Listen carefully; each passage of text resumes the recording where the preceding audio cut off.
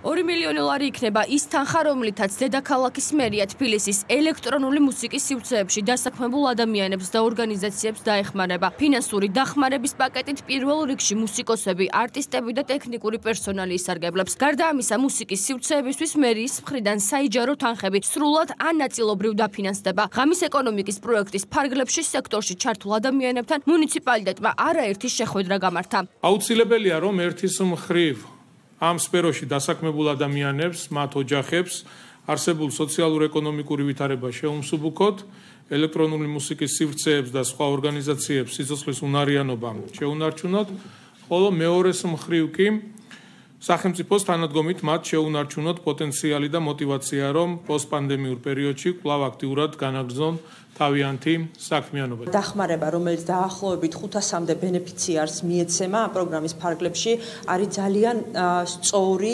გადადგმული ნაბიჯი ხელოვნების იმ სფეროს მუშაკების დასახმარებლად, რომლებიც განსაკუთრებით დაზიანდნენ. სფერო რომელმაც ჩვენს დედაქალაქს ევროპისა და მსოფლიოს მასშტაბით სახელი გაუთქვა და უამრავი ტურისტი მოიზიდა თითქმის 1 წელზე მეტია გაჩერებულია. თბილისის მერიაში აცხადებენ რომ პანდემიიდან გამომდინარე ერთ-ერთი ყველაზე დაზარალებული ელექტრონულ სივრცეში მოღვაწე პირები არიან. მერის ბალანსიდან გამოყოფილი 2 მილიონი ლარით კი დახმარება. დაახლოებით 500-მდე შემოქმედს გაეწევა. ჯამში 500-ზე მეტი არტისტი და ტექნიკური პერსონალი არის, ვიზაც ახლა ჩვენ საუბრობთ, ვინც იქნება ამ დახმარების ბენეფიციარი და ასევე დაახლოებით 55-მდე ბიზნეს სუბიექტი, ეს არის კლუბები, ეს არის რეკორდშოპები, ეს არის ბარები და ასე შემდეგ. ანუ ყველა ის ყველა ის სუბიექტი, რომელიც ჩართულია ელექტრონული მუსიკის სცენაში და ღამის ეკონომიკაში. ეს სუბსიდირება არის ძალიან მნიშვნელოვანი და პრაქტიკულად არის არათუ შვება, არამედ გადარჩენა ამ მიმართულების.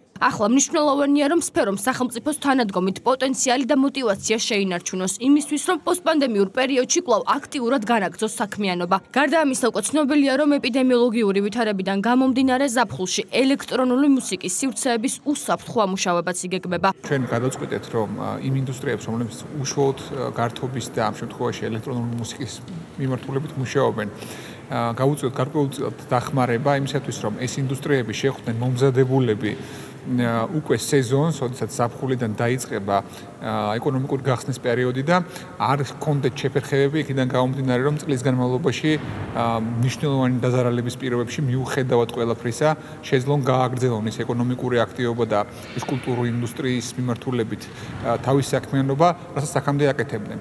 სფეროს მუშაკები მუნიციპალიტეტის გადაწყვეტილებას სასიცოცხლოდ მნიშვნელოვანს უწოდებენ. მათი თქმით, თანხა, რომელიც მერიამ გამოყო ამ ეტაპზე, ბიზნესს გადაარჩენს. ელექტრონულ სივრცეში მოღვაწე პირები აცხადებენ, რომ ახლა ყველაზე მნიშვნელოვანი ეპიციტუაციის გაუმჯობესებაა იმისთვის, რომ მათ საქმიანობის გაგრძელება დროულად შეძლონ. მერის ეს გადაწყვეტილება, რომ დაეხმაროს სივრცეებს, დაეხმაროს ელექტრონული მუსიკის ეკოსისტემას, მაშინ როდესაც ყველანაირი რესურსი ამოწურული იყო და უბრალოდ გაგრძელების გაგრძელება ამ საქმიანობის შეუძლებელი იყო. ამიტომ, რა თქმა უნდა, ეს მნიშვნელოვანი დახმარება და მნიშვნელოვანი სტიმულაცია არის ამ ინდუსტრიის.